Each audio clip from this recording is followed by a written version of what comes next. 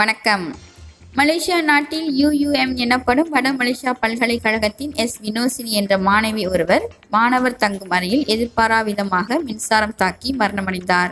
இச்சம்பவம் நிகழ்ந்து ஒரு மாதங்கள் மேல் ஆகியும் போலீசாரின் வெளிப்படையான நியாயமான விசாரணை முடிவுக்காக மாணவியின் குடும்பத்தினர் மனவேதனையுடன் காத்து கொண்டிருக்கின்றனர்.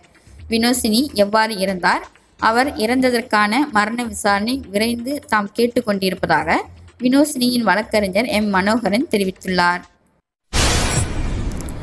இப்போ தாமான் பர்ச்சாமில் சீன சமூகத்தை சார்ந்த கணவன் மனைவி இருவர் கொலை செய்யப்பட்டு வீட்டில் சடலமாக கண்டெடுக்கப்பட்டது. இச்சம்பவம் தொடர்பாக சந்தேகத்தின் அடிப்படையில் ஆடவர் ஒருவரை போலீசார் கைது செய்தனர்.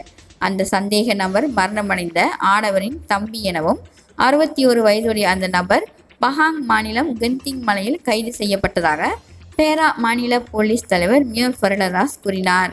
அவரிடம் விசாரணை மேற்கொண்டதில் கொலைக்கு பயன்படுத்தப்பட்ட ஆயுதத்தையும் அந்த நபரிடமிருந்து போலீசார் பறிமுதல் செய்ததாக கூறப்படுகிறது.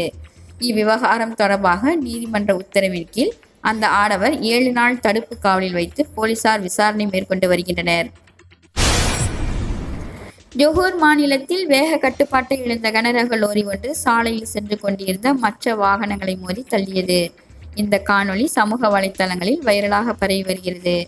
இச்சம்பவம் அன்று ஒன்பது இருபத்தைந்து மணி அளவில் நிகழ்ந்ததாகவும் தகவலின் அடிப்படையில் சம்பவ இடத்திற்கு விரைந்து சென்ற சாலை போக்குவரத்து அதிகாரிகள் விபத்தின் தொடர்பாக விசாரணை மேற்கொண்டு வருகின்றனர்.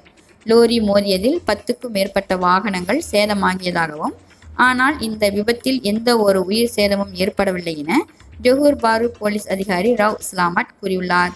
விபத்தின் தொடர்பாக முப்பத்தி நான்கு வயதுடைய கனரக லோரியின் ஓட்டுநர் கைது செய்யப்பட்டார். கூனோங் ராப்பா தமிழ் பள்ளிக்கூடம் விரைவில் திறக்கப்படுவதற்கு நடவடிக்கை எடுக்கப்படாவிட்டால் நாடாளுமன்றம் முன் அமைதி மறியல் போராட்டம் நடத்தப்படும் என பத்து காஜா நாடாளுமன்ற உறுப்பினர் வி. சிவகுமார் எச்சரித்துள்ளார்.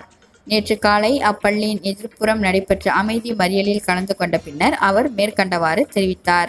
நடைபெற்ற அமைதி போராட்டத்தில் மாணவர்களின் பெற்றோர்கள் சிலருடன் அரசு சார்பற்ற இயக்கங்களும் கலந்து கொண்டனர். இந்த மறியலில் தமிழ் பள்ளி தீர்வுக்கான குழு தலைவர் பெரு நித்யானந்தர் தலைமை தாங்கியது குறிப்பிடத்தக்கது.